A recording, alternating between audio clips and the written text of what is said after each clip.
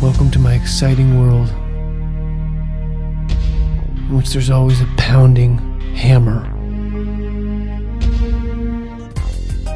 Gotta turn it into a beat, or just end up more crazy.